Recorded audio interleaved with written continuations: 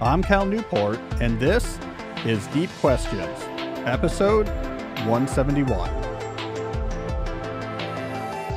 So I'm here in my Deep Work HQ. Rainy, cold day. So it's one of those rare days I'm actually happy to be in a windowless room.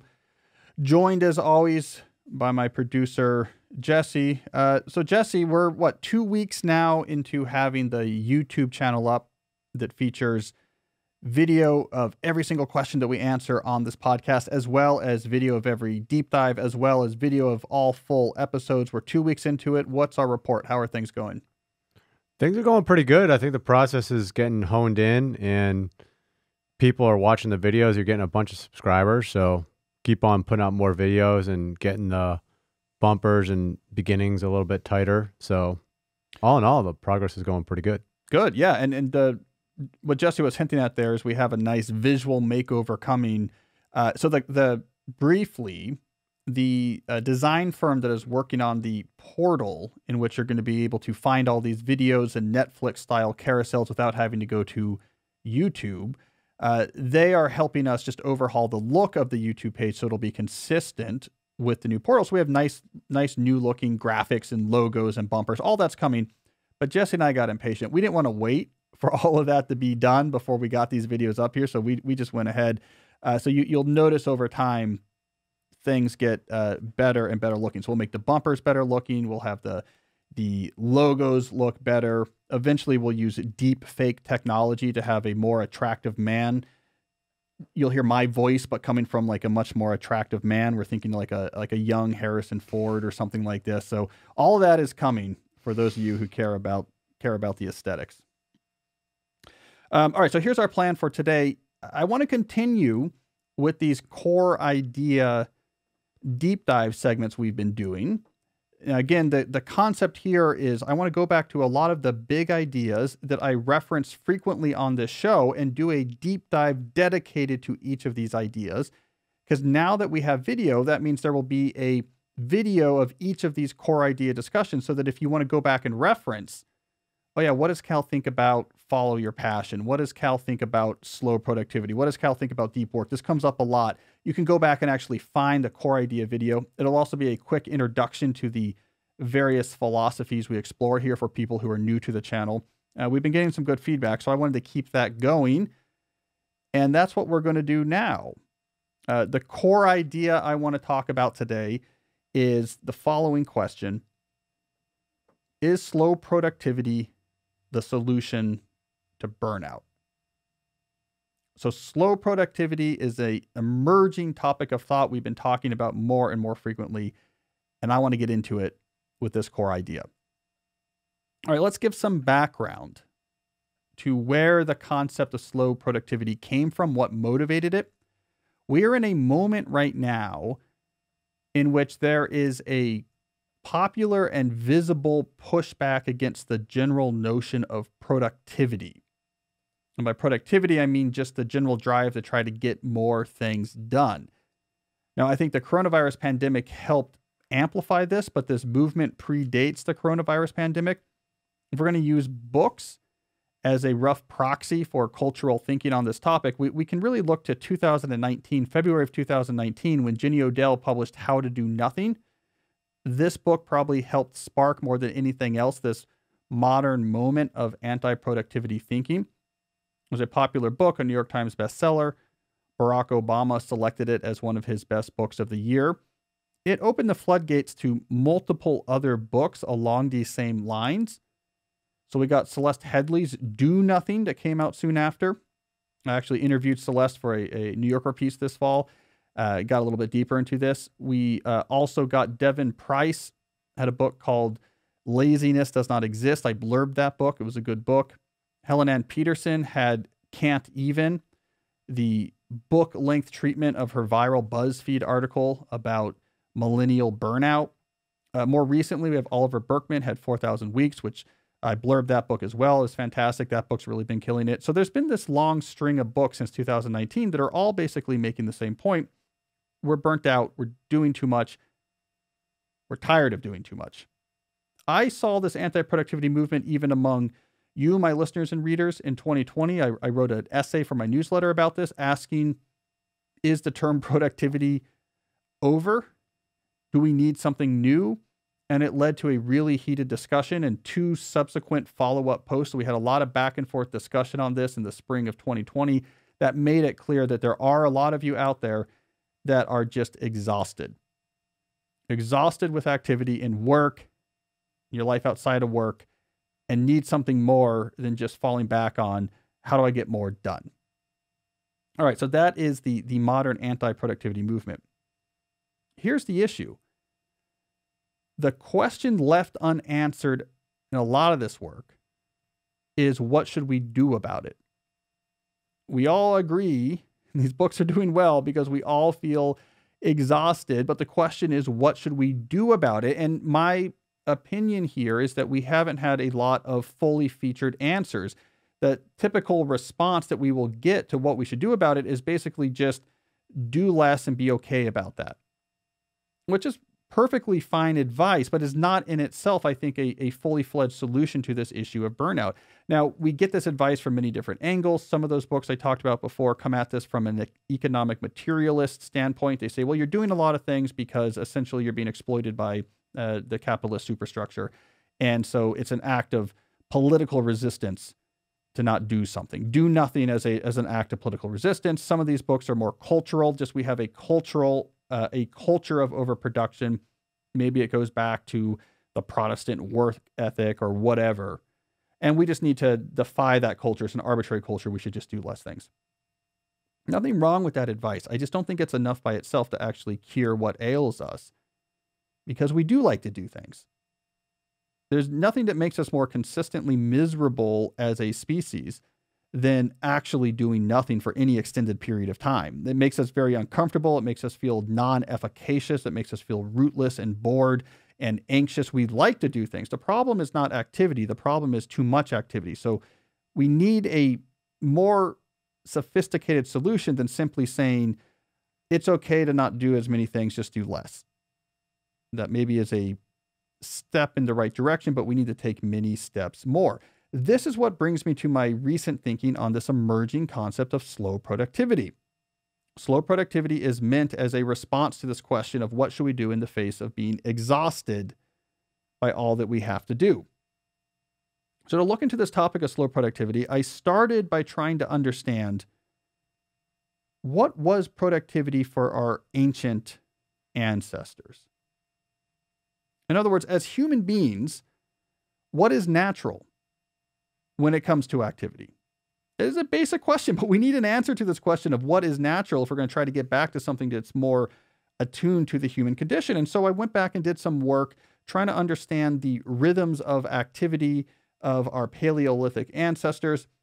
We obviously don't have direct observations about this, but I, I ended up talking to a, a quantitative anthropologist from Oxford University who is one of the world's experts at studying extant hunter-gatherer tribes in the Philippines and using robust methods to try to try to measure what their activity levels are like and very carefully try to make some extrapolations from this to other to our hunter-gatherer past. That's a, an extrapolation you have to do carefully, but he's he's sensitive and careful about that.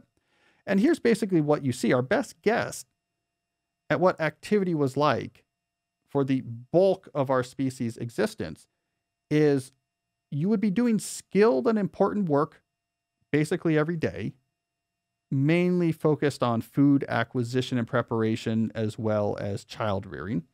But you would be, uh, you know, these extant tribes they studied, if you were gathering herbs, you had a huge expert understanding of the various plants and their various uses. It's very expert work. Or if you were hunting, hunting was a very skilled activity when you when you don't have very sophisticated uh, weapons like rifles, right? So you're doing skilled but important work at a natural pace. So this is definitely what they found in their work on these tribes is there's lots of breaks. You might be spending all day on a hunt, but there's going to be a two hour part in the middle of the day where you're just resting and maybe you take a there's a nap over here there's a natural pace with ups and downs of intensity uh, and never too many things at the same time there's no notion of i have 18 things i'm trying to get done as a paleolithic hunter gatherer and uh, i'm trying to go through this list. It's like we're doing this today and then that. Right? That's basically what we did throughout most of our history. Now compare that to where we are today. Where we are today, and let's focus mainly on the world of work just to keep this more precise. Where we are today is maintaining lists of things that we need to do, obligations and commitments, some of them explicit, some of them implicit, that are massive. Massive list of obligations and commitments.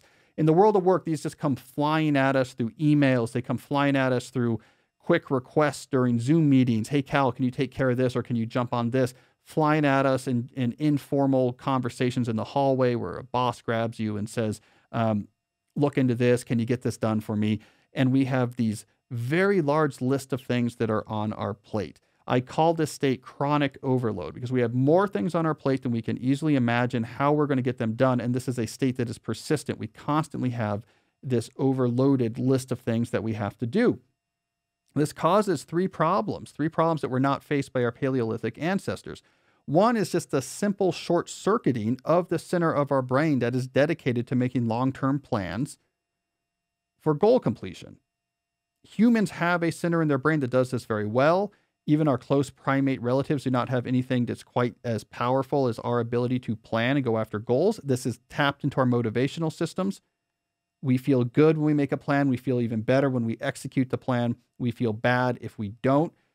This system gets completely overloaded when you have 700 unread messages in your inbox and 75 different projects, tasks, and ongoing commitments that you're trying to juggle. It is too many things for that part of your brain to imagine how it's going to accomplish and it short circuits that planning that planning center of our brain that makes us anxious that makes us miserable Again, our Paleolithic ancestors never had 700 unread emails, each of which representing a commitment that we can't wrap our mind around how we ever going to satisfy all these commitments.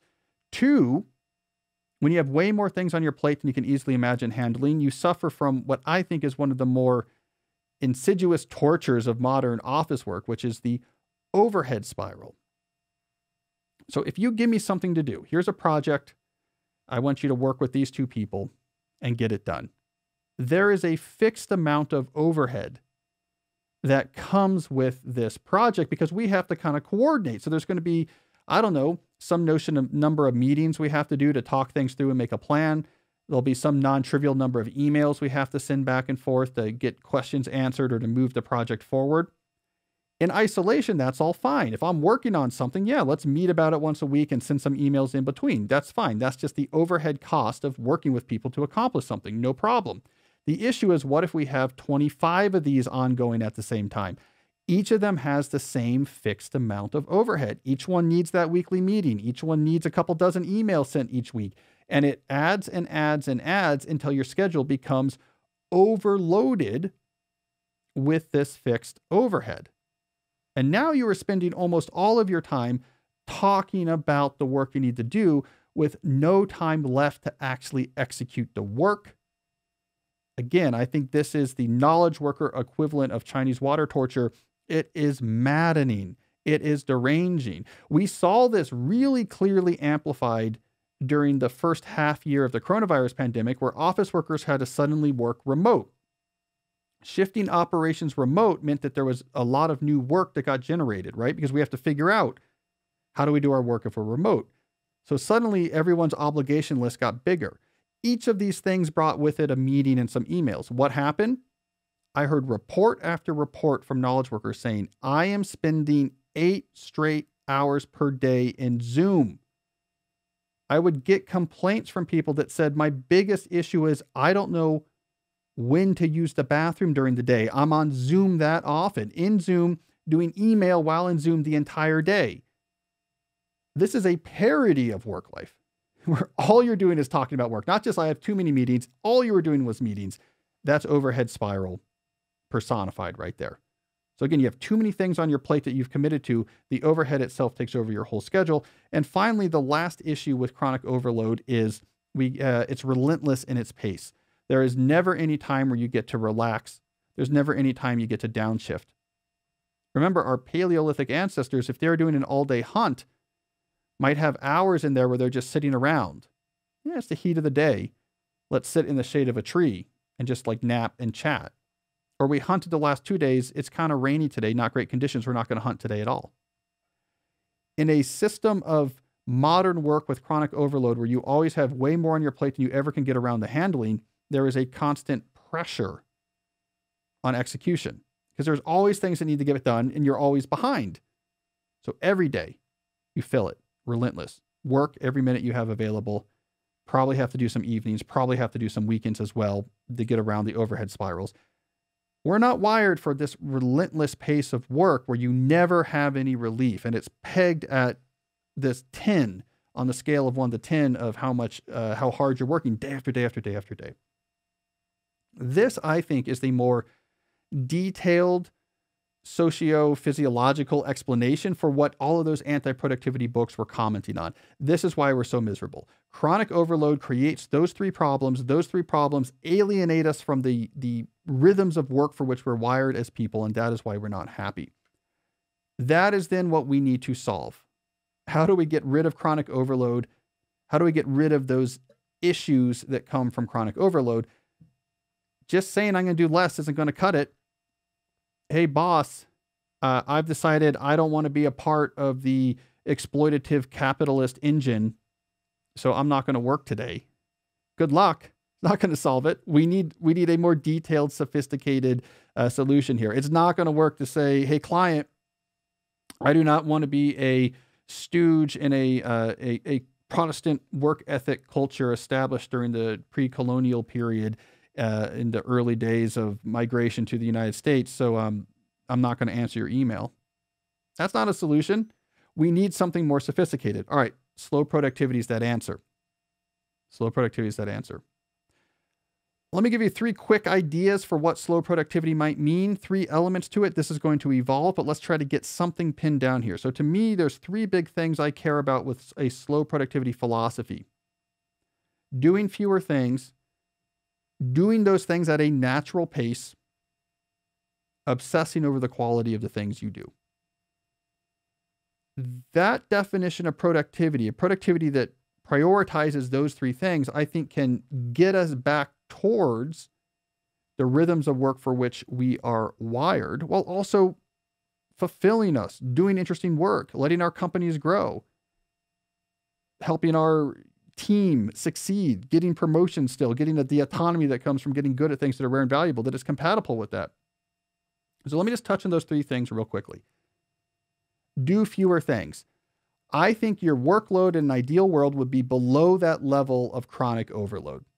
You have few enough things that you are committed to doing on your plate that you are not suffering from the short circuiting of your planning circuit. You're not suffering from overhead spirals, and you do not feel like you have no no uh, option but to have a relentless pace where you're feeling every minute of your day. We need to do many fewer things.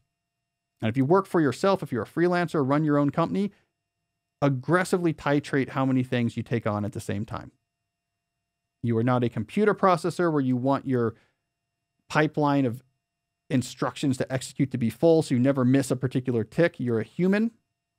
You're not wired to do that. We need to do many fewer things. What if you work for someone else? Well, I think we need to completely rethink how work is assigned in the workplace. This should be transparent. How much work is this person doing? What's on their plate? So that we can all see it. And then we can have very clear understandings of what is reasonable. And if I see, you know, Jesse has a fair number of things on his plate, I can't put something else on it. It's on me to figure out. Something pops up, it needs to get done at some point. I can't just say, Jesse, handle this. I have to figure out where does this go uh, until someone has room for it? It can't just go on their plate. The answer here is probably going to be external systems. Things that need to get done go into external systems where they bring with them the information they need to be accomplished and have clear statuses and priorities. And then individuals pull, pull work out of the system as new slots open. This might sound like it's a pain. I don't care if it's a pain. It's what we're wired to do. Keep my load reasonable and I'll pull in new stuff when I'm done with what's on my plate. Don't just give it all to me and say, figure it out. You're going to short circuit my brain. You're going to make me miserable. All right, second piece of slow productivity work at a natural pace. We cannot just peg our efforts at a 10 for eight to nine hours a day, day after day, week after week, week after week. This is not natural for humans. We need seasonality in our work, first of all. Seasonality meaning hard times balanced by easier times. And I think we should have this at all scales. So this week, some days are harder than others. I'm going to pull back on Friday and come into the weekend maybe a little bit more relaxed, but Monday I'm pegging it. We should have certain months, perhaps, that are more intense than others. This is an intense month. We're kind of getting after it, but you know what? In June, things really get quiet around here and I'm pulling back and I'm going to have very light days, right? So, uh, seasonality at different levels, maybe even seasons like professors do. Winter, I'm getting after it. Summer, I'm pulled back far. Rest, recovery, up, down, up, down at all scales. I think we absolutely need this. The other thing we have to do to get a more natural pace to our work is adjust the time scale at which we care about accomplishment. Instead of caring about how much do I get done on the scale of days and weeks, you say, I, I worry about what I get done on the scale of months and years completely changes your relationship to the current moment. When you want to produce a, a good number of very high quality things over the next three years, it really changes how you feel about Tuesday. Now it's not so important that every minute of Tuesday you're, you're getting after it. In fact, you might say, I need to take a couple weeks off here so that I can really have a high quality push for the weeks that follow. It completely changes your relationship to work when you say, I don't care about how many things I check off a list this week. What I care about is what is on my CV that I produce over the last five years. That's much more compatible with seasonality ups and downs. The final point here, the final part of slow productivity I mentioned was obsess about quality. If you're going to do less, you need to pair that with doing what you do better. This will make the work more fulfilling because you're building and applying craft. Remember our, our example of our Paleolithic ancestors skilled, important activity. We get motivation for that. We don't get motivation for adjusting the fonts in a PowerPoint deck for fundraising for some company idea we probably shouldn't be doing in the first place just because we're bored. But crafting the computer program that's going to run and do something really cool and you can see it producing the book, the brilliant new marketing campaign. So we want to focus on doing smaller number of things, but doing those things much better is going to feel more fulfilling. It is also what is going to give you both the ability and the courage to say no to other things when your main metric becomes how do I do what I do better? Now it's easy to say, I'm not going to do this middling thing. I'm not going to do this distraction. I'm not going to jump on this call. I'm not going to learn this new plugin that maybe will bring me some new email subscribers for my news list because that's not going to help me get better at what I'm trying to do. It is much, much easier to be minimalist in your scheduling when you're focused relentlessly on a small number of things getting better and better at it. It also earns you the right to be more autonomous. The better you get at what you do best, the more leeway you have to say, I'm not coming onto that committee. I am not going to do this client contract. It's barely overlaps what I like to do. It's going to be in- incredibly time consuming. Um, I'm not going to have to do 25 social media posts a day in some quixotic quest to build up an influencer audience. It gives you the autonomy you need to take control over what you spend your time on and what you don't. So that is my answer. That is my answer to the anti productivity movement. Yes, we are overloaded. It's a problem. Why? Because of chronic overload causes all these issues that alienates us from our human wiring. What's the solution? Not that discard productivity and say, do less and let's celebrate that. But to get more specific and say, let's redefine productivity. We'll call it slow productivity. And we're going to build this very intentionally from the ground up to get our work lives back aligned with our ancient wiring. Do fewer things, do this work at a natural pace, obsess over quality. That, I believe, is the proper response to our current, rightly pointed out as problematic state of overload. That is how we take back control of activity in our life and keep it fulfilling, keep it meaningful, keep options open, but also uh, get away from all of the issues we're currently facing in our world of chronic overload. All right, so that's what I have on slow productivity. This is a new thought, guys. So I'm, I'm sure it's going to evolve. Uh, Jesse, you've heard me talk about this a few times now. Would you? Would yeah, you I've heard slow? you. I listened to you talk about it on the Ferriss interview yesterday. That's right. Yeah. So the day before the day before this came out, or a couple days before my interview with uh, Tim Ferriss came out. And slow productivity was one of the topics that we got into. I've also written about slow productivity in for the New Yorker. So my my last of my office space columns for them, which came out in early January, was on slow productivity. Uh, and I may or may not be working on a book proposal on the topic. So you might be wondering why I'm talking about it. Uh, I mean, ironically, for a book on slow productivity, it can't come out fast. I think that's the problem. I was like, guys, I stayed up every night for two months and got this book done by just relentlessly working as fast as possible. I think that's not going to work. Yeah, you talked about this in the past too, in previous podcast episodes, where you said you were going to kind of walk us through the process of writing the book and stuff. So I'm looking forward to that. It's actually already started. Yeah. uh, So maybe there's some breaking news here. So in, in past podcast episodes, we were talking about uh, a book I'm working on a proposal on for the Deep Life. This would be a second book. So I might be, I'm working on potentially the Deep Life and Slow Productivity in some order, might be the next two books I write. None of that is inked, you know, none of that's actually written down or signed or none of it's official. Uh, but that's, that's what I'm currently thinking is those might be the next two books I write. And that's what you did before the last two books, right? You worked on them simultaneously. yeah, I like doing that um, because I want to just work. I want to think deeply and write. And so I sold digital minimalism in a world without email. I sold those at the same time, and then that allowed me to just not worry about selling books for four or five years. I could just write. And when I was done with one book, I knew what I was working on. I mean, I'm, I'm a put my head down and write type of guy. That makes me happy. Having to go out and talk about the books, you know, okay, that's harder for me. I like the part where it's just me, me and the idea. I guess me and the idea and Jesse and tens of thousands of podcast listeners. But but that's it. Just our small circle talking about these things. Um, so I like that. I like to sell multiple books at a time if I can, because I don't want to spend. It's a pain to sell books, man, and it, it's it's it's stressful and it's complicated, and there's a ton of fiddling overhead on it too. I mean, these proposals are 50 pages long. It just takes a long time to write, but it's not fun writing. It's not, oh, I'm writing about ideas. It's, you know, you're writing about your marketing plan and stuff like that. So yeah. uh, I try not to do it more than I need to. One thing you mentioned in the Ferriss interview was he asked, he started off with your relationship or your uh, Steve Martin. He was asking about him, and then you were talking about his autobiography. I listened to the auto audiobook recently, and at the end, he was he had the the quote where he was in I think it was in the jerk when he was like leaving the house. I was like, I just need this and I need this one thing, and he needed all those things. It kind of reminded me of what we just, just said. had this and then just this and just a little bit of that and then the- just this and yeah, good book, Born Standing Up. Yeah, I recommend it. Um, we should probably pay the bills.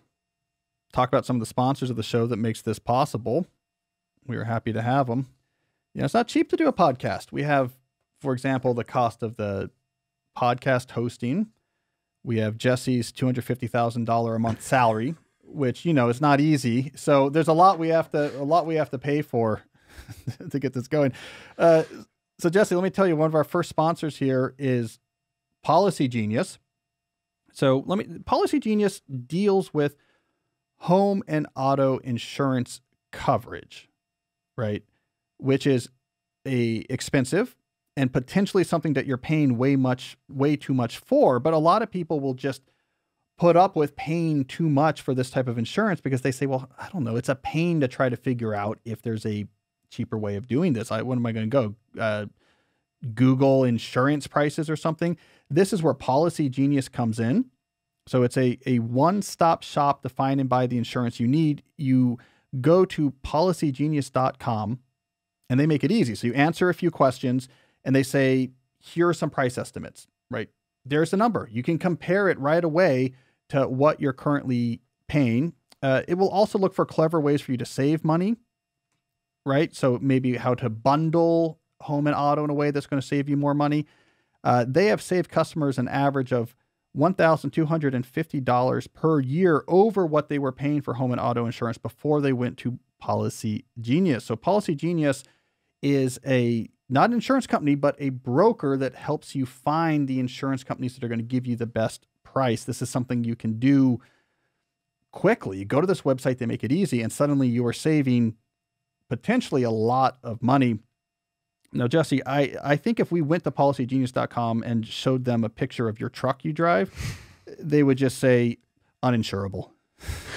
My insurance is pretty cheap. I actually, you know, but it's I've had it for a long time. Yeah, Jesse drives the truck from like if you watch the show Yellowstone about those ranches in Montana, and they sometimes do flashbacks from like the 1970s.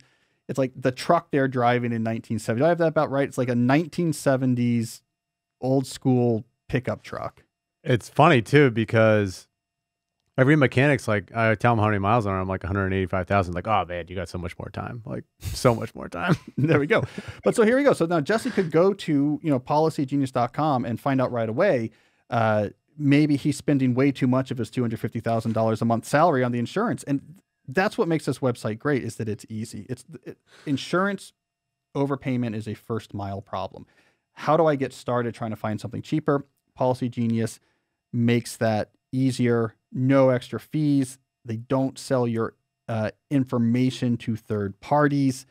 They've helped over 30 million people shop for insurance and has placed over 120 billion dollars in coverage, so they know what they're doing. So head to policygenius.com to get your free home and auto insurance quotes and see how much you could save. All right, so we have another sponsor I want to talk about, which is Centered. Now I realize Centered, it's not always obvious how to spell what I'm saying here. Uh, so let me actually spell it out. Uh, Centered, C E N T E R E D. So putting something into the center. Jesse, I'm excited about this one. This is right up my alley. This is a computer software that helps you block out distractions and work deeper. So, I mean, this is this is music to my ears. Uh, it's an app that you can run uh, on a Mac. You can also run it on a Windows, and it has multiple different things that all come together that help you actually work deeper. It can pull all of your tasks into one place. Uh, it can play focus music. I talked to the, the the founder of this company actually, and he said this is that's surprisingly popular. The playing just the right music to help you focus. I told him I think it's not just the the details of the specific music you're playing, but it's the fact that the users build up an association. That music is time to do deep work. So you get there quicker. Uh, they have a virtual coach. Jesse's going to put me out of business. They have a virtual coach which who has an English or can be configured to have an English accent, and uh, this is actually a popular feature on this on this app. Uh, it nudges you very nicely of, you know, I don't know that you need to be on Facebook for another hour. Maybe you need to get back. And uh, and again, the users of Centered find that to be uh, really effective. You know that that's going to break our plan, Jesse, our money making plan, where you just hire me to sit over your shoulder as you work. Well, if you get a better English accent, then maybe you know it's get yeah. back in the game. The way I do it is I I have uh, I would want my coach to sound like Jocko Willink and to basically berate me. it's, like, get up at four thirty. why? Why are you still in bed, you wuss? Get focused. Yeah, now Centered has this better figured out. Um, they also have analytics. They come back. Here's what you're doing. Here's how you're actually spending your time. That's incredibly, uh, incredibly effective. They've done some research. So, uh, Centered research has showed that their their users are getting through their important tasks 30% faster than they expected. So we know that it has effects. Uh, as I mentioned before, simple task management, 100 hours of this custom flow music, the automated coaching to encourage you. If you're not using Centered with their automated coaching, I'm sending Jocko to your house to berate you. So that, let that be motivation. A great do not disturb mode. I didn't mention that before, but if you want to just lock in so I can't be interrupted, they have a great do not disturb mode. Anyways, I love this type of space. I think for too long, productivity software was just about how do we get people quicker access to information and make communication faster. That's what productivity has meant. And I think what productivity software should mean is what Centered is doing, which is how do we actually make the computer in which you're interacting better match the wiring of your brain as a human so you get better work done in a way that's more sustainable. So you can download Centered today at centered.app slash deep questions and use that promo code deep questions one word and you will get a free month of Centered including all of its premium features so that's centered.app slash deep questions. Good. I'm glad that app exists, Jesse, because um, Yeah, free month is pretty good. yeah, it would be pretty busy for me if I had to actually just go around and look over people's shoulders and yell at them. I don't think that scales. I think they have a more scalable model. Would be my would be my guess there. All right, we should probably do some questions. As always, let us start with some questions about deep work. Well, we've had a we've got a healthy start to this podcast here. We're 35 minutes in. Yeah. Yeah. all Slow right. bar acti- slow productivity and the ads were good stuff. Yeah. Well, look now now that we have standalone versions of these questions, I'm going to be nice and nice and pithy here, uh, which means I'm about to spend 25 minutes on the first question.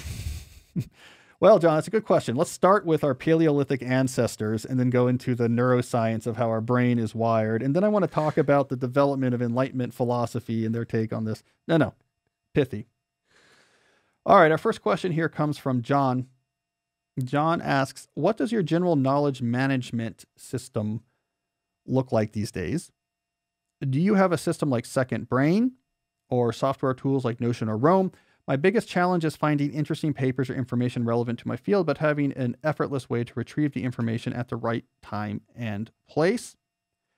Well, John, uh, we talk about this a lot these days. I get yelled at a lot by Zettelkasten people for being, I guess, insufficiently in, enthusiastic. But here's my quick answer uh, I use Roam for most of my knowledge management these days, which I enjoy uh, because I think it gives me more flexibility in storing and linking information than having to be in strict hierarchies of folders and subfolders and subfolders. And I'm getting better at it. Um, two, I think effortlessness is largely a myth. Okay, I, I I like having a better place to store information. It makes an epsilon difference right? It might make things 20% easier to find something. It might generate the occasional extra idea. Uh, but as I always say when I talk about knowledge management systems, is I just think for a lot of high-end work, effortlessness is a myth. Like here's the reality, for example, of let's say article writing. Like I'm working on an article like I am right now for the New Yorker. It is true that having an interesting uh, a system where you you encounter lots of things and they're stored might help spark an idea. You know, I saw this interesting article and it got into my system. And I saw another article two months later, and the comparison between those two, the contrast between those two, gives me a spark of an idea that could be an article. So it can pro- provide a spark. But then what has to happen? It is probably going to be focused, uh, intentional research to say, okay, now I want to write this article. I'm not going to just effortlessly find in my system everything I need. I'm going to have to, in a much more systematic manner, go out there and do old school research, pull articles, do interviews, endless Google searching, get this all into Scrivener somewhere and start staring at it, realize I have a hole in my knowledge, go out there and find new information. So I don't really think there's a way to avoid in a lot of idea generative type work. I don't think there's a lot of way to avoid having to do focused information acquisition for the project you're working on. No matter how much stuff you have stored in your system, there's 50 more articles you're going to have to read before you can actually say something smart about the idea. So, anyways, I like these type of Zettelkasten inspired link based storage systems as a reasonable way to categorize information. I just don't place as much expectations on what this system is going to provide for me. That wasn't too bad. Three minutes. Feel good about that. All right, we have a question here from Raquel. Raquel. Sorry, Raquel. Raquel asks, do you carry or keep two analog pieces on your desk, one being your time block planner and another for notes, or just your planner? So, Raquel, uh, my two always around, processed during every shutdown ritual every day capture tools is my time block planner, which has for every day space for notes and tasks that I can write down. And that's where my checkbox is that I have to check when I do my shutdown routine at the end of each day. So I know that's all going to be processed. The second tool I always have is my working memory.txt plain text file on my computer desktop. When I say on my computer desktop, I have multiple computers. They each have one. But my main computer I use on a normal workday would be my laptop, and I have it right there. So I always have my paper notebook. I can capture things on it, especially if I'm away from my computer. And then I have that working memory.txt, which collects a lot of information during the day especially when I'm doing stuff on my computer and a lot of information pops up. Imagine, for example, you're in a Zoom meeting and there's some notes you have to think about and six tasks that come out of that meeting. I'm just typing that right into my working memory.txt right there on my computer. I can type much faster than I can write. I can put voluminous notes into there. Don't overthink it. Don't make it too pretty. Just boom, boom, boom. End of the day, when I do my shutdown routine, uh, I look at the time block planner, what's in there, everything get put into my permanent systems. I look at working memory.txt. Let's take care of everything that's in there. All right, so that's the regular things I use. I then will introduce project specific analog notebooks. So if I'm working on a particular computer science research paper, I might have a grid notebook. I like gridline notebooks for doing mathematics that I'm just bringing with me to work on that project. If I'm working on a new book, I might get a Moleskine notebook dedicated to that book, just to put ideas in there as I have them, collect inspiration when I'm away from a computer, etc. And those I will use and process in a way that is bespoke to their corresponding project. So when it comes time to work on that academic paper again, hey, here's my notebook for that that particular paper. Let me let me see what I had in there, and that's where I'm storing it. So I have two permanent collection mechanisms, one analog, one digital. And then I will, when useful, have these project specific notebooks. What about the pocket size Moleskine that you carry around? Yeah, okay, so that it's a good question. So um, I also have a pocket sized Moleskine that I use basically for reflections on the deep life. Now, I didn't have that terminology when I first started using this. I first started this method in 2004. And I used to post pictures on my newsletter of like growing stack of, of the old Moleskines. Uh, and, and so that's not the reason why I, I didn't mention it here is that that's not work related but I'm Jesse, I'm glad you brought it up because it's important. Uh, when I have reflections about my life, intimations about this thing I just saw or read resonated, uh, reflections. This has been a tough two weeks. Why? What's going on here? What can I learn about what's making me miserable and I might want to avoid? Uh, ideas about what if we rethought this part of our working life? What if in my constitution bucket I rethought how exercise was in my life. So everything related to living the deep life. When I have ideas, inspirations, and reflections, I carry with me also in my bag an old school pocket sized Moleskine. Why that particular notebook? It's because it's what I bought at the MIT co op the first week I was on campus at MIT as a grad student. And that's when I started this uh, habit. So for me, it is the comfort of that's what I've always used. You can use whatever notebook you want. That I look at when I'm doing updates to my semester or quarterly plan. So there, if I'm, I'm thinking through, okay, guys, let's check in. Uh, what are we working on for the next semester? That's where, because when you work on those, you look at your values and you typically have a vision at the top of each of these documents about where you want to be. Great time to look at those, uh, look at those Moleskines. The only other tip I'll give you about that Moleskine method is what do you do when you fill it? My rule is anything you, you go through it and say, is there anything in here that I want to remember and I haven't done something with? Like it didn't ch- change my strategic plan or something, but I don't want to forget it. It's a good idea. You copy that into the next notebook. And what, what tends to happen is only a very small amount of these ideas actually will end up meriting being copied into the next notebook. And by the time you get to the notebook, the next notebook, only a very small number of ideas will pass from that one to the next one. And, and so it's a way of making sure things aren't lost, but it also helps you purify. Like, what's the idea that I've carried with me through four or five notebooks? Okay, that's a signal that maybe I really need to make a change around that or I need to listen to it. Uh, so yeah, so that's a good caveat. So I do have that that Moleskine as well, non-work related but critical to my pursuit of the deep life. All right, we got a question here from Candace. Candace says, uh, Do you have any tips for how to apply the deep work approach to job seeking for a first job? I am feeling overwhelmed with all the options out there, and I don't know what metrics actually reflect the efficiency of my search. All right, well, well, Candace, you're you're over defining the word deep work. This is a common theme on the show that people will expand the term deep work to capture all sorts of different things. Uh, but let's keep it really focused. Deep work means I'm working on something difficult uh, without distraction. So I'm not context shifting and giving it my full attention. And the, the whole idea behind deep work is that is the most effective cognitive state to produce non-trivial or value valuable work is giving something your full attention and not context shifting. That really has nothing to do with organizing a job search. But I think what you mean here is how do I do this in a way that is deep in the more general sense, meaning focusing on what matters, giving that intense intention, and not wasting your time with things that don't. That general application of deep, I think, is quite appropriate here. What I'm going to recommend is what years ago, I'm talking 2007, when I was blogging mainly at a student audience.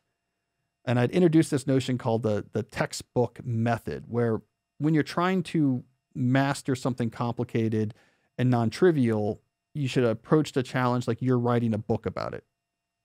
Let me go gather information about this, organize my thoughts, and actually write it out like a, like a little book. Do that about your job search. I want to write a book on, in your case, it's uh, biomedical engineering, on how to get your first job in biomedical engineering. Won't be a long book, but uh, something I, I feel good about. Well, how am I going to write this book? Well, I better go learn about how do you succeed in doing your first job search in biomedical engineering? Well, uh, how do I do that? I guess I should go talk to people. Let me talk to the seniors from last year who got who are in my program and got good jobs. Let me talk to 3 of them and walk them through their job process and then have them reflect what mattered and what didn't. If they had to do it again, what would they focus on? Let me go to the Career Services Center at my university and talk through job searching for this. Let me go to a career fair, and maybe talk to one of the reps from one of these firms and say, let me ask you, when you're hiring, how's this work on the other end? What matters? What are you looking for? Get the real information and organize it and write it down. Not a full length book, but like you're putting together a pamphlet that's evidence based on here's the right way to job search in my field to get a first job, and then go execute that. And that is almost always the key to taking this general, deep approach to things in your life if you want to focus your energy intensely on what matters and not waste time on things that don't, you got to know what matters. And that requires evidence. And keep in mind, reality is often not what you want it to be.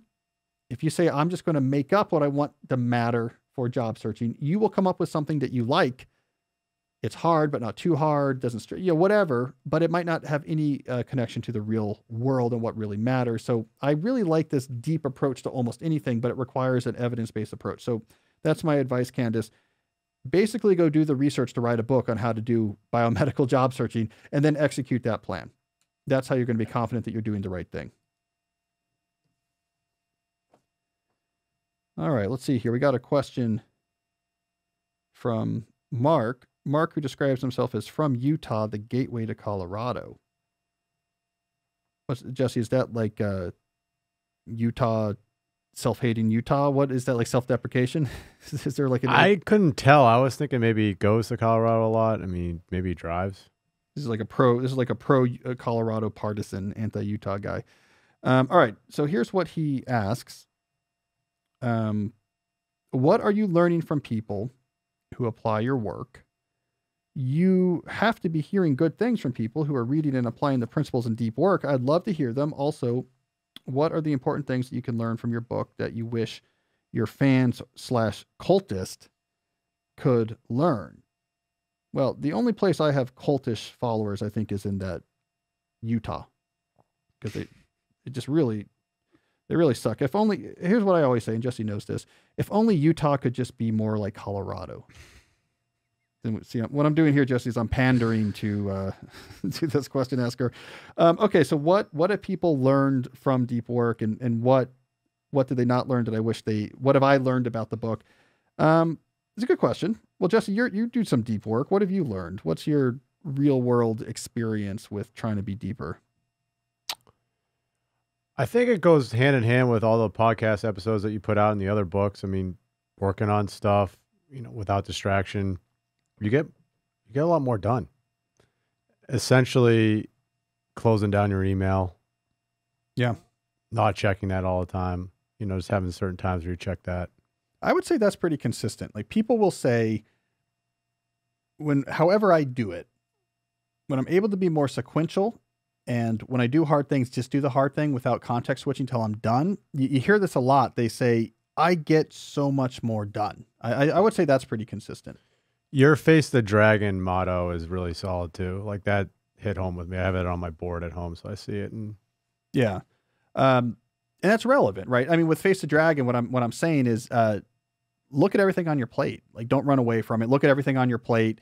And I call it the productivity dragon, face the productivity dragon. And here's the thing if it is inconquerable, then you have to see it and confront it. And and for a lot of people, that's why I'm glad you brought it up, Jesse. What that leads to is they face the productivity dragons. They've written down everything. Uh, a lot of times, what will happen is they write down everything and then they try to come up with a strategy for how do I deal with all of this. They start trying to build out their autopilot schedule and I'll work on this here and this here. And it just doesn't work because it's just way too much stuff. Mhm. And what that leads them to do is to say, oh, I'm going to cut out half of this stuff. yeah. And then the other thing that's great is with your time block planner, you showed how if certain things go over, you cross out your existing plan and just start a new one, you know, on the same day. Yeah. You know, so there's often times where I'll be doing stuff and run out of time and it's as slow productivity as you talk about. You just wait till the next day and Yeah. you try to factor it in. I like that. You had a plan, you were intentional, you've won the game. Yeah. I mean, no, there is no gold stars for, wow, you came up with a, a- like a time block plan and you hit it exactly. Or you came up with a weekly plan or a, some, or even, even worse, a, a quarterly plan about how this thing was going to unfold and you hit it exactly. No one comes along and says, great, you get extra money. You get extra sales for your book. You get, you know, gold bars or something like that, right? It doesn't matter. What matters is, uh, are you being intentional with your time? Because who cares if you get it right or not? Is uh, all that tells you is it's a little bit of luck and how good are you at guessing how long something takes. But in the end, it's going to take however long it takes. And so the, the key thing is that you're working on something uh, consistently and with intention until it's done and it gets done well. Uh, whether you guessed properly how long that was going to take or not is not that important. The automate the automation stuff and finding different environments for different work is awesome. Like I'm taking Spanish lessons right now, so I know like certain days I'm gonna do my homework, you know, in Yeah. different spot, All right. and it's just you know done. All right, so good. So we have three things so far uh, about applying deep work in the real world, what people have learned. So, in particular, what Jesse has learned.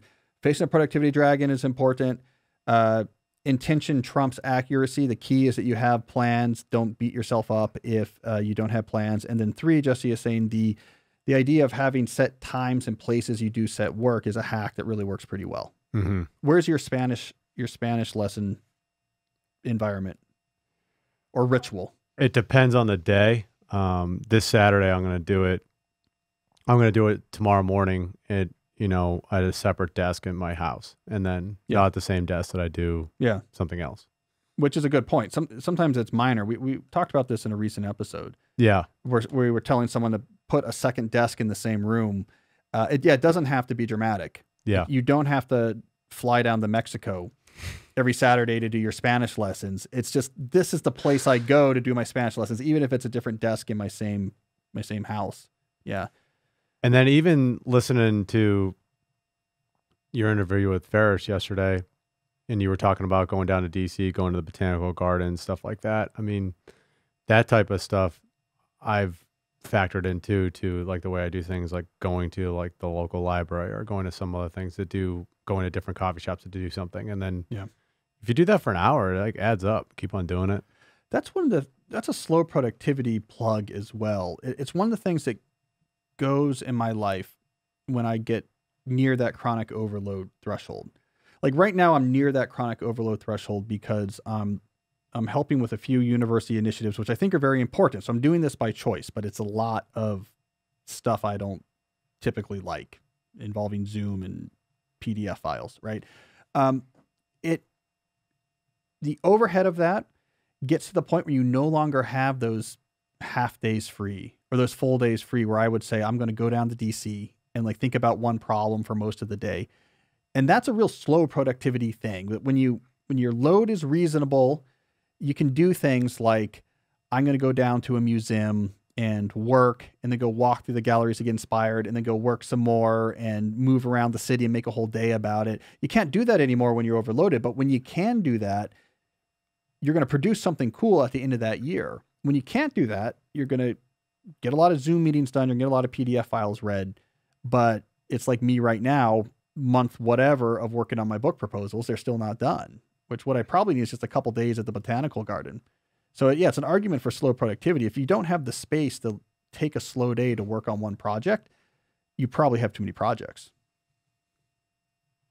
All right, so that's good. So there we go. Uh, that is there is straight from straight from the mouth of someone who's who's working with these ideas. These are some of the the things that we have learned or people have learned about putting deep work into practice in the real world.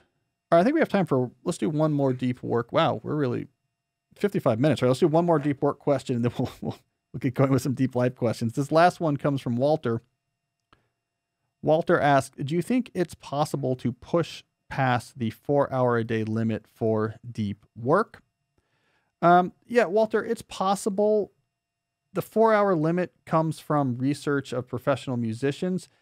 Four hours is roughly probably a cap on really intense deep work, but most knowledge workers don't get anywhere near that level of intensity. So that number came from the study of, I think it was professional violin players. You see similar numbers for professional chess players for what as well. They do very intense training where they're trying to solve puzzles. Here's a position puzzle and it takes really intense concentration. There's only so much of that you can do, maybe around four hours. Most people doing knowledge work are not anywhere at that level of intensity what's actually happening in their brains. They're going up and down, focusing really hard, then relieving that pressure for a while, then focusing really hard. So, yes, you could spend, and people do spend more than four hours working on things deep. The only addendum I would add is why. I mean, if you're spending more than four hours locked in on one thing, really trying to push yourself past where you're getting good returns, the question is maybe you should just slow it down good work day after day after day, let that break up. So, yeah, you can do it, but I wouldn't build a professional strategy around let me spend 10 hours a day working on one thing. I don't think you're going to end up in a much better place than spending three hours a day, but working on it day after day after day. That's probably going to get you to some better work. And I don't know that you're going to save time heroically trying to fill your day, anyways, because that brain is going to tire out. All right, so that's it for deep work questions. We have a good collection of questions for the deep life. Before we get there, a couple other sponsors we want to talk about help make this show possible. Uh, the first one of those sponsors is Magic Spoon. Now, you've heard me talk about Magic Spoon quite a bit on this show. They were one of the first sponsors of this show. They put out a cereal that tastes like that treat cereal you used to eat as a kid in the 80s or 90s, but without all of the junk. Zero grams of sugar, 13 to 14 grams of protein, and only four net grams of carbs in each serving. Only 140 calories a serving as well. It's keto friendly, gluten free, grain free, soy free, and low carb. Compare that to the cereals that we were eating in the 1980s, which I believe not only satisfied none of those properties, but were also 30% petroleum products don't know if that's true, but I, I do get the sense that that probably there was old tire rubber involved in that cereal. So now we can eat that type of cereal that we enjoyed and actually have something that is healthy for us. Uh, Jesse, you're a Magic Spoon guy, right? Unrelated to them being our sponsor. Yeah, I actually bought some because I was always a listener of your show, and then I bought the peanut butter kind. It's really good. Is that your now? I hear uh, I hear from listeners that the expert move is to take the peanut butter magic spoon and mix it with the cocoa magic spoon and it's Reese's. Yeah, that would be pretty good. I um I could try the fruity pebbles kind too. It's good. I mean, I've always been a huge fan of cereal, but cereal is horrible for you. So if you can find something that's decent, which it was, I mean, much more healthy than you know the other cereal. But cereal is always kind of like my cheap, and now it feels better. Yeah, now you can save that cheat for something else. So, anyways, it's a Magic Spoon cereal. Um, feel good about eating it, and also it tastes good. So here's what we can offer for you. If you go to uh, magicspoon.com slash cal you can grab a custom bundle of Magic Spoon cereal. And if you use the promo code CAL, C A L, at checkout, you will save $5 off your order. Magic Spoon is so confident in their product that it's backed with a 100% happiness guarantee. So if you don't like it for any reason, they will refund your money, no questions asked. or you can just send your box here and Jesse and I will eat it for you. Remember, get your next delicious bowl of guilt-free cereal at magicspoon.com slash Cal and use that code CAL to save $5 off. Jesse, we should get like a kitchenette here or something. We need a coffee maker, like a place. I'm surprised you don't have a coffee maker. Actually, I was thinking about that the other day when I was at work. I have this weird block about decorating and furnishing the HQ. I don't know. You got to help me with this. We got to make this place reasonable. I want to be able to go get uh, like a bowl of Magic Spoon cereal and a cup of coffee, you know, in these offices without me having to go home. I'm gonna bring the camera next next week, and we can film it and then show the audience, and then they can start Yes, we'll motivating you too. It will be peer Make pressure. better. Yeah. Peer pressure from the the viewers will say, oh, "You got to make this this HQ better." Like we're trying to live vicariously here, and it it looks like um, this was like a crime scene or something. like it was a crime scene, and this is after they they took most of the stuff away for evidence, and this is what's left. So okay, I like that idea. Um, let's do. Speaking of you know decorating, which is going to cost some money. One more sponsor to talk about, and that is ExpressVPN. Jesse, do you know what a VPN is? Only through you because uh, you've explained it before, but Yeah. So my explanation uh, as a computer scientist is that with a VPN, when you want to connect to a website, right? So uh, you know Jesse is at the gym and is connecting to MagicSpoon.com to order something. Uh, instead of just directly connecting to that website where everyone can look at your packet and say, "Who are you connecting to? Why are you connecting to them?" Maybe you've had too much Magic Spoon or whatever the issue is. A VPN says, no, what you do instead is form a connection to a VPN server. So you have an encrypted connection to the VPN server. And you tell that VPN server, your browser or whatever software you're using tells that server through an encrypted connection, this is the website I really want to talk to. And then the server talks to that website on your behalf. And then it gets the answer back from that website or from whatever service you're trying to access, and then sends that back to you over this encrypted connection. So no one around you knows what you're up to. The ISP you connect to, the access point at your gym, whatever, can't keep track of who are you connecting to, who are you talking to. So there's a lot of reasons why you might use a VPN. There's security reasons, there's privacy reasons, but there's one cool little benefit you can get from them. With a service like ExpressVPN, they have VPN servers all around the world you can choose to connect to.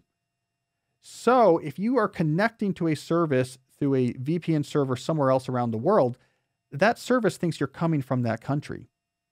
So Netflix, for example, offers different content based on where you are in the world. So if you want to unlock different Netflix content, you can just connect to an ExpressVPN server in that country and then just use Netflix as normal and you will see only the Netflix content that's available to that country. So it's actually pretty surprising how much stuff you're missing.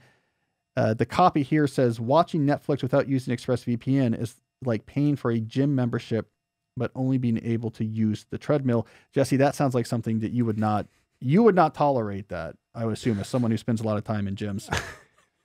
I agree. I agree for sure. I like to get around, see different equipment. So I before the pandemic, I traveled a lot internationally in my role as a professor and as a writer. Uh, so I use VPNs all the time, especially when I'm overseas, uh, because a I don't know who's tracking me, and b I want to be able to access services back in the states. For example, ExpressVPN is my go-to. Here's what they have that makes it my favorite. Many different server locations. So wherever you are, there's probably a server not too far away really fast speeds. This is everything with a VPN. You have to have fast speeds because now you're going through an intermediate server. They have blazingly fast speeds, great encryption setup, and it's really seamless the way it works with your computer. You're just using your computer like normal and you're going through the Express VPN servers.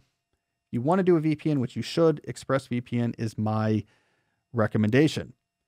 So be smart. Stop paying full price for streaming services and only getting access to a fraction of their content. Get your money's worth at expressvpn.com slash deep.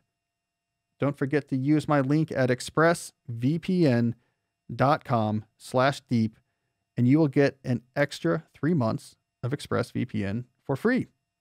Three months is pretty good. Yeah. Give it a try.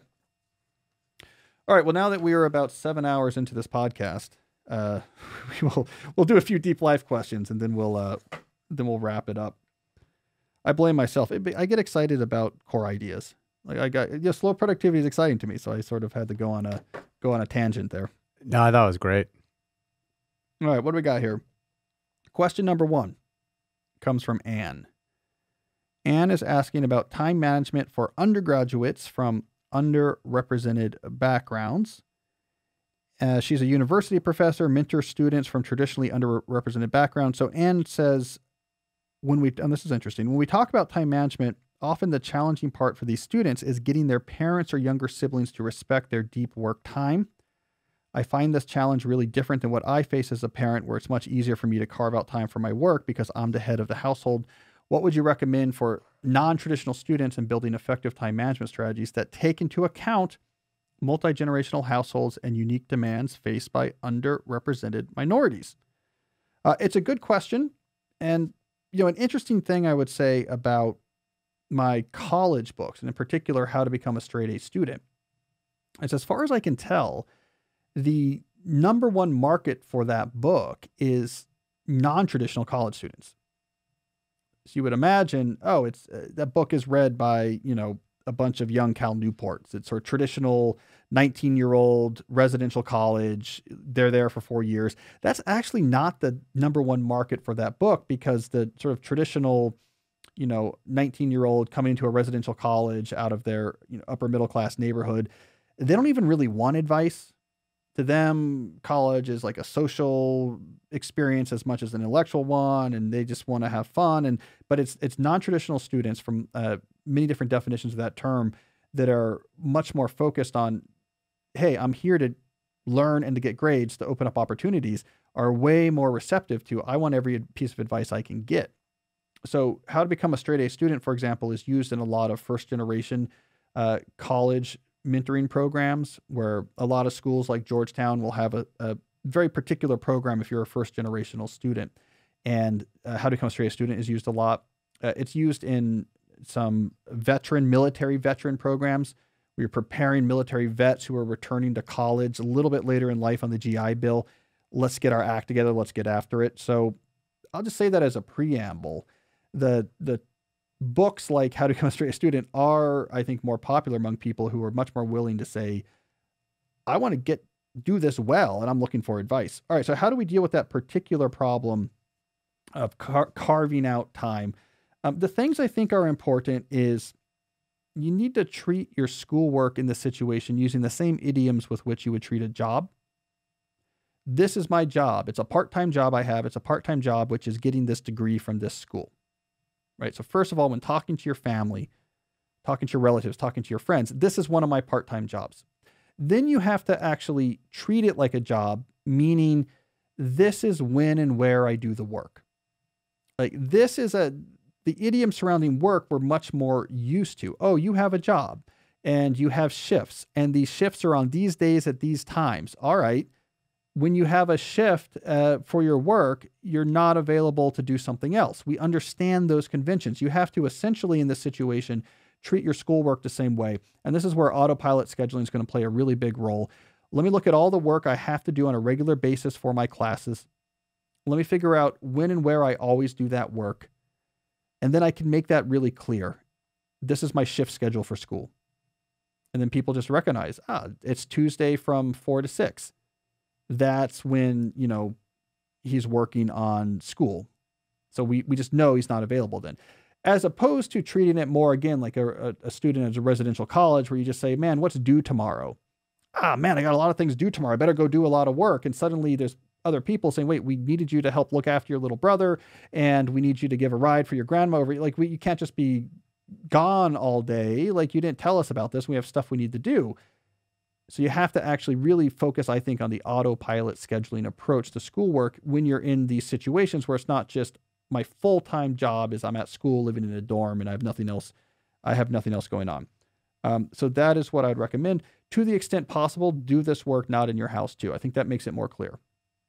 If you can do it on the campus where you're taking the classes, if you can do it surrounding the classes, works really well.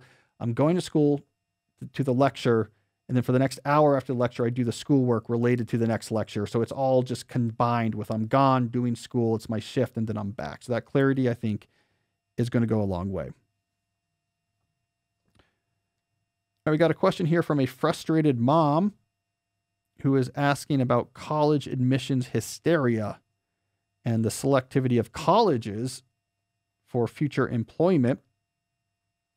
Let me excerpt this question a little bit, but the, this uh, uh, querier says, My teenager is utterly unmotivated uh, and likely has an undiagnosed learning disability because she seems quite intelligent outside of academics. I'm in California, where kids seem to take an average of eight AP exams and seem to have weighted GPAs over four. I worry for her future, and it upsets me when people point to examples like Steve Jobs or Larry Ellison and claim a college degree is not important to succeed. If this were true, then please tell me why companies aren't lining up to hire out of high school uh, or community college or second tier schools, but make all make a beeline to hire from the Ivies. And she says, What about kids who need to work or can't handle the pressure of doing it all?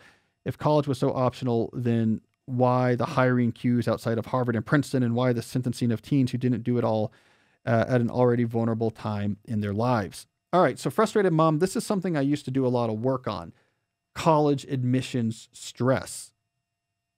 When I was a graduate student in the first decade of the 2000s, there was a, a huge issue with college student stress because of two things that occurred during this period.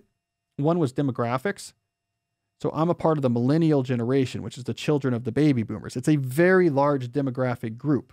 I'm at the very older end of the millennials, right? So I'm, I'm one of the first millennials. So when I was just arriving at graduate school, you had a huge number of millennials entering college admission season. So there's suddenly this huge strain on college admissions. And then at the same time, they introduced the common application. So it used to be like when I applied to school, when I wanted to apply, I applied to Dartmouth. Uh, there was an application for Dartmouth, and I had to go use a typewriter at my dad's office because you had to type write in information in the fields. And for your essays, you would write your essays and print them. And, and I vaguely remember like pasting them into this thing. I mean, the application was a, a physical booklet you would send away for. You would send them money and they would send you back this thing. And it was a huge pain. So you were pretty selective. I'm applying to three schools and it took me a while.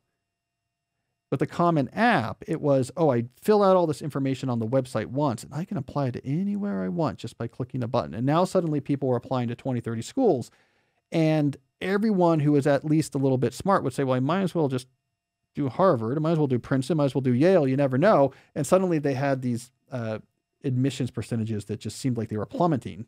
When in reality, it was just you had a bunch more people applying who who never would have before because they already knew they weren't going to get in. Anyways, it caused a huge issue. College college admission stress became uh, a problem. There was a bunch of national cases. Uh, case studies that were drawing national attention, like Gunn High School in Palo Alto, California, where they had a, a string of suicides. This was starting to happen with high school students. Which is all to say, I wrote a book eventually called How to Become a High School Superstar. That was all about diffusing college admissions stress. So I, I feel your pain. Let me give you a few points before I just say read that book, which, by the way, I think you're going to like. But let me give you a few points. Yes, college matters. Ignore the Silicon Valley types that say Steve Jobs didn't go to college uh, because you know your kid's not Steve Jobs, right? And your kid's not Larry Ellison.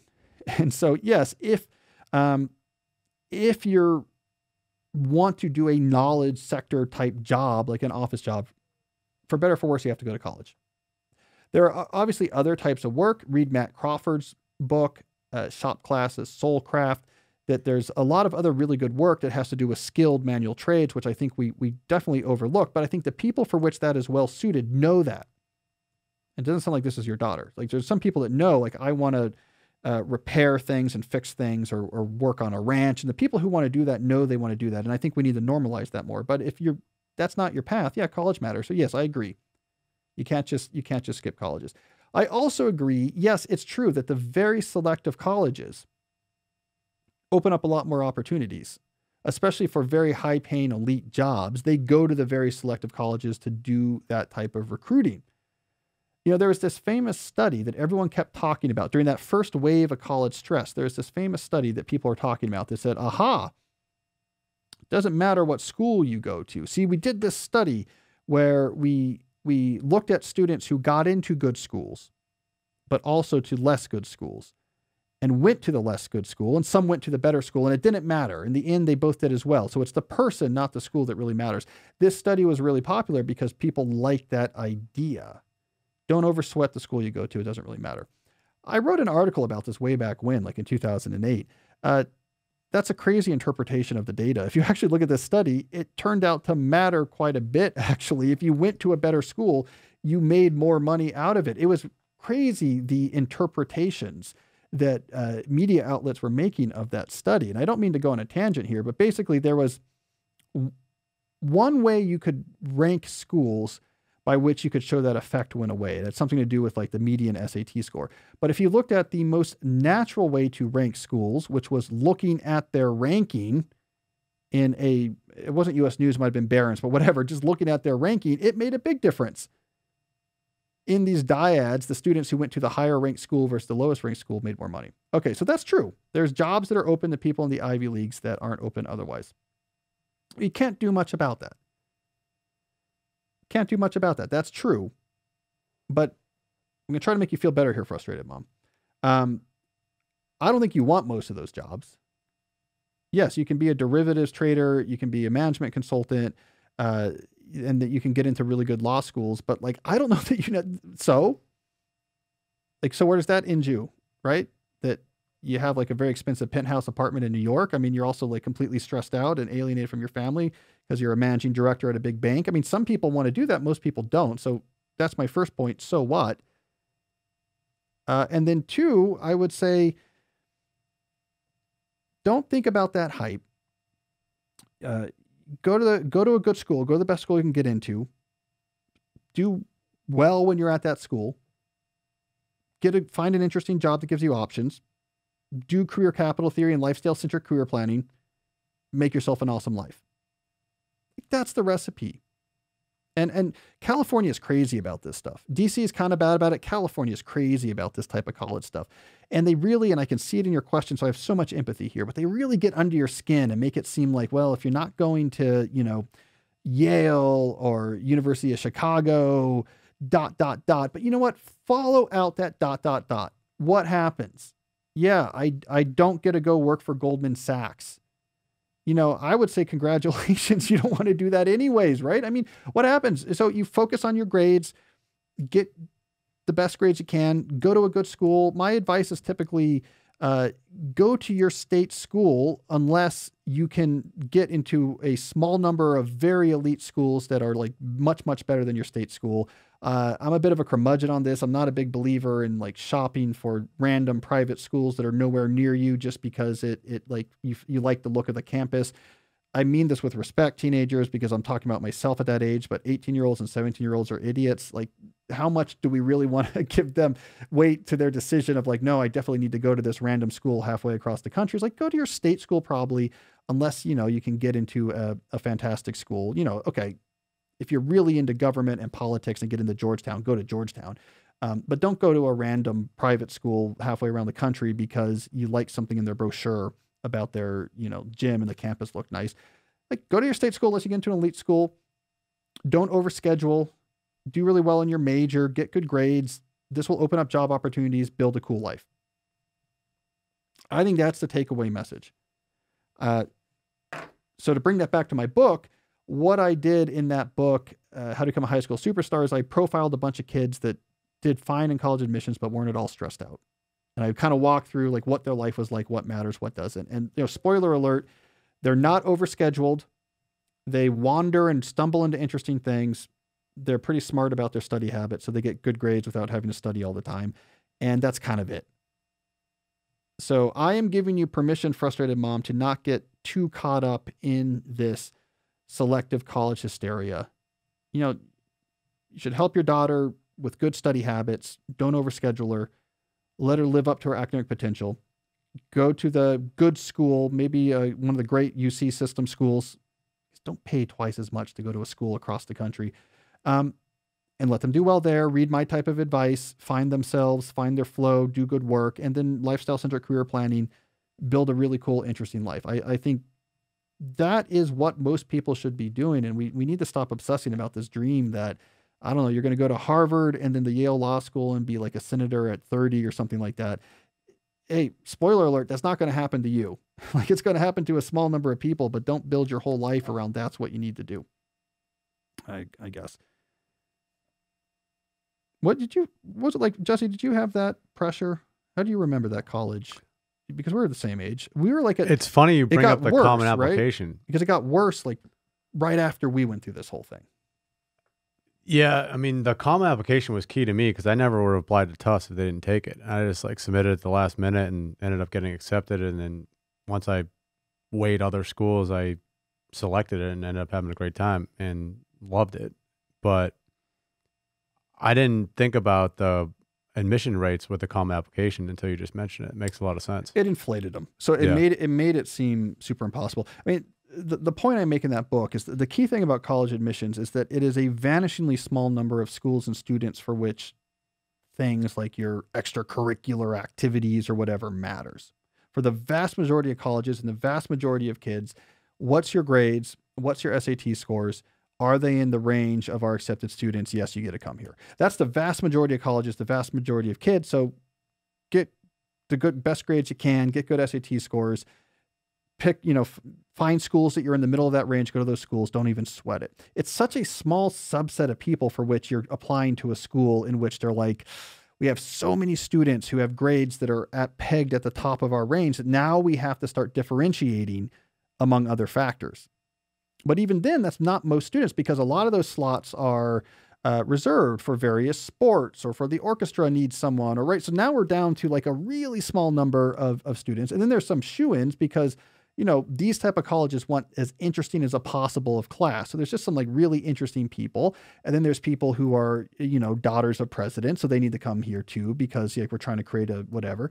Um, and now we're down to a very small number of slots at a very small number of schools where you have an admissions officer saying, you know, what activities do you do? So I think we definitely overblow that. Everyone is obsessed with, you know, uh, what are my activities? And they're wrong about it. That's the whole point in that book. One of the big points in my book is that people are wrong in terms of what they think is important when it comes to activities. Uh, they focus way too much on quantity, thinking somehow that uh, raw quantity of activities is somehow impressive. It's not. Uh, or they fall into the trap of looking for activities that have incredibly clear competitive structures, like am I the first chair of the state orchestra? Only one person in your state gets to be that for the instrument, so it's not necessarily a great place to be competing. So I don't mean to rant, but I just want to give more people permission to say, I'm going to get the grades that I, I'm going to work hard, get good grades, see what schools that opens up, go to that school, have a good experience with that school, build a cool life. And we look, and of course, I'm saying this as someone who went to an Ivy League school and trained at MIT, so maybe it's easy for me to say, but I don't know that my school opened up for the vast majority of my peers uh, really cool, interesting, happy lives. They all just went to Harvard Law School. Everyone I know just went to Harvard Law School and are all law partners now and are, you know, tired. So, you know, congratulations. They have nice houses though, but oh well. All right. Um, we should probably call this one, Jesse. What do you think? We're at we're at like an hour thirty here. Sounds good to me. All right, everyone. Well, uh, thank you for sending in your questions. And as always, if you liked what you heard here, you'll like what you read on my newsletter, which you can sign up for at calnewport.com. For videos of every episode and standalone videos of every question, go to the YouTube page linked in the show notes. And until next time, as always, stay deep.